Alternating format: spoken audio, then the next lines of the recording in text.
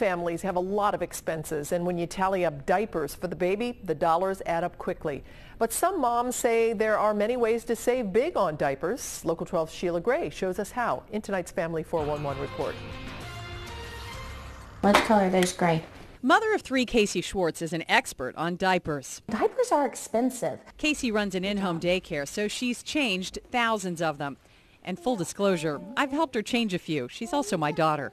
I think the reason diapers are so expensive is because the quality of the diapers. People in the disposable diaper business say parents want quality. They want diapers that don't leak, that absorb for hours, and don't hurt their baby's skin. And families can spend 50 to $85 a month.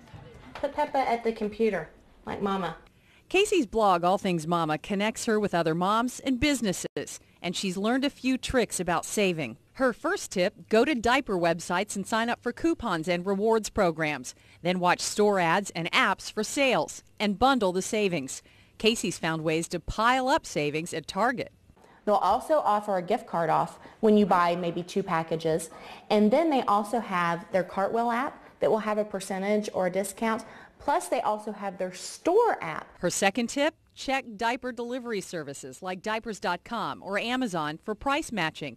Plus, they'll save you a trip to the store. Kasey says she's saved money with her third child by switching to cloth diapers. This outside cover is leak proof. But even cloth can cost in the hundreds to get a supply big enough to keep you from doing laundry every day. Make sure you learn how to take care of them to pass them down from child to child. You might be able to cut costs by connecting with moms in your area to buy them gently used. Facebook and blogs like Kasey's are good places to look for moms networks. My parents' generation, they were um, potty trained by like 18 months. Blogger Charlotte Edwards says earlier toilet training saves money, no matter what diapers parents choose. I Skyped with her from her home in China, where parents start toilet training their babies in the first weeks of life. With her mother-in-law's help, Charlotte's son was routinely not wearing diapers by the age of five months. And, you know, they're not going to open their mouth and start saying, Mommy, I need to go. Um, you have to pay attention to the, you know, cues. Charlotte wrote about the experience for pennyhoarder.com after she found some women trying it in the U.S. But for her, earlier toilet training is more than a cost savings practice.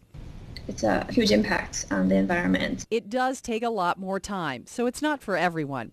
Charlotte and Kasey both recommend doing some research on what works best for your family and lifestyle. I showed you. And you can be sure your baby will help you learn too. Sheila Gray, Local 12 News potty training at a couple of weeks old? That is wild, isn't it? I think my kids were like five or six or seven years old. Okay, not really if you're watching. I'm kidding, kids. Anyway, diapers are a serious concern for families who are struggling financially. Food stamps and WIC assistance don't pay for them, so the National Diaper Network has a list of resources. You can search by state at local12.com, and we also have links to the blogs that Sheila showed us. Just click on the red Get It button. You can find them right there. My girls are going to kill me. I know. They're on the phone. oh my God, Mom. What are you doing? I'm sorry. She'll me? have to get back to you.